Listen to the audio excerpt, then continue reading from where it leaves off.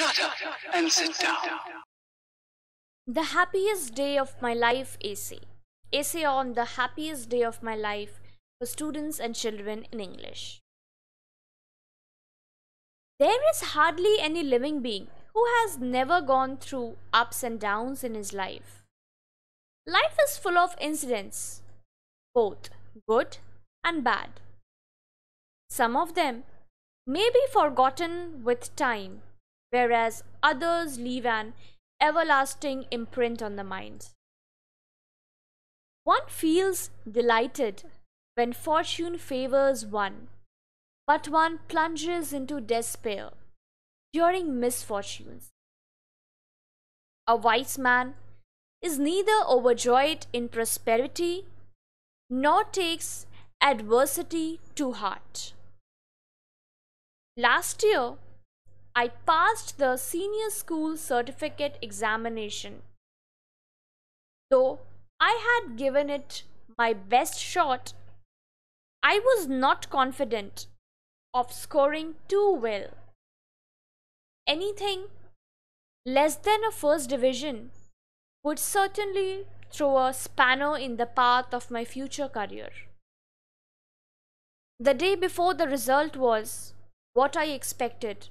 I spent a restless night. Early next morning, I, along with a few friends, hurried to school and went straight to the display board. Starting at eye level, I went down the list, with my heartbeat going up as I reached the bottom. My name was not there.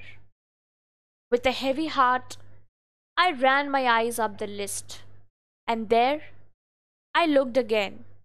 Yes, it was my name second on the list. Not only had I secured the first division, but also stood second in my class. God fulfilled my desires. I felt grateful to Him. My friends also passed, securing good marks. To celebrate our success, we decided to go for a picnic. We reached Okhla, a lovely picnic resort at noon. The heavy rush of visitors could not deter our enthusiasm as we sought out a huge banyan tree on the banks of the canal. We spread out our mats and opened up the food hamper. The lively music and delicious food swept away all the tension of the past few days. The idyllic atmosphere was abruptly broken by some loud cries.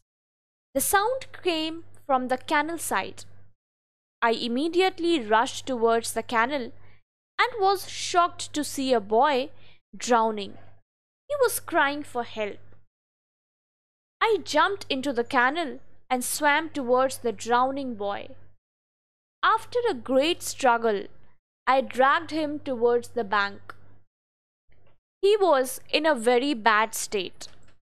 When I observed him, I was surprised to see that he was an old classmate of mine. He was given medical aid and after some time he regained consciousness. I was delighted to see him recovering. My joy knew no bounds because I had saved the life of a boy who happened to be my old classmate. It was a day of great joy and happiness.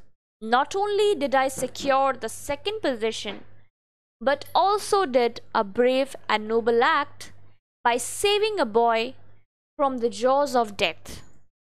This day would go down as one of the happiest days of my life.